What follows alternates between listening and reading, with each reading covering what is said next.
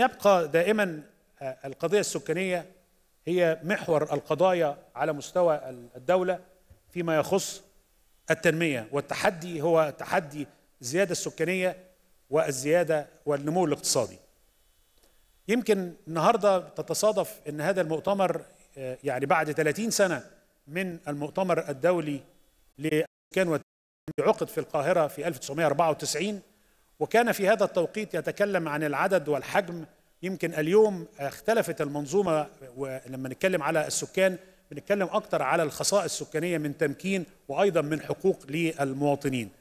فاللغة اختلفت بعد 30 سنة ولكن التحدي لا زال قائم بالنسبة لمصر وهو القضية السكانية التي نزداد بها تقريبا في النمو السكاني أكثر من 3472 يوميا. وطبعا دي كل ده من الجهاز المركزي للتعبئة العامة والإحصاء اللي بيمدنا يوم بيوم بكل الإحصائيات. إحنا بنزيد حوالي واحد نسمة كل 25 ثانية. هنا أنا أقصد بالزيادة وهو الفرق ما بين المواليد والوفيات وبالتالي كل 72 يوم في 250 ألف زيادة. يمكن الدولة ما وقفتش عند هذا الرقم ساكنة لكن في خلال أيضا العشر سنوات الماضية ومن خلال دراسة الهرم السكاني وتوقعاتنا على المستقبلية مهم جدا إن إحنا نعرف إن زيادة عدد السكان في مرحلة العمل من 15 سنة إلى 64 سنة هو ده المستهدف عندنا.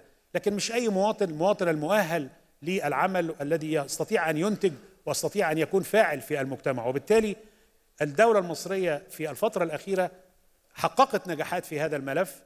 لم ننتهي بعد ولكن حققنا نجاحات في 2023 طبقا للجهاز المركزي للتعبئة العامة والإحصاء. إن انخفض معدل الزيادة الطبيعية بنسبة 8% مقارنة بعام 22 انخفضنا بحوالي 149 ألف مولود مقارنة بسنة 22 وده مجهود طويل عبر سنوات طويلة تبنتها وده حقق لنا إن لأول مرة نشهد إن معدل الإنجاب الكلي في مصر ينخفض إلى 2.5 من عشرة. بمعنى إن كل سيدة في مرحلة الإنجاب تصل إلى 2 طفل و5 من عشرة وده يعتبر أول رقم نصل إليه من عبر تاريخ مصر بالكامل. لو حضراتكم شايفين من سنة 75 كان 5 و3 من عشرة. إحنا بنتكلم على 2 و5 من عشرة سنة 23 إن شاء الله من خلال المجلس القومي للسكان ومن خلال الخطط البرنامج القومي للتنمية البشرية ومن خلال اهتمام الدولة المصرية في كل قطاعاتها إحنا مستهدفين يا فندم إن إحنا نوصل ل 2 و1 من عشرة على 2030 وده هيحقق معدل الإحلال وده معدل يعتبر جيد جدا إذا استمر المنحنى في الانخفاض وده, يخلينا لا نتحدث عن عن العدد ولكن نتحدث عن الخصائص السكانية نستطيع من خلالها تحسين أحوال المواطن المصري. هي التنمية البشرية والقضية السكانية يعني وجهين لعملة واحدة نستطيع إن إحنا نعمل بيهم.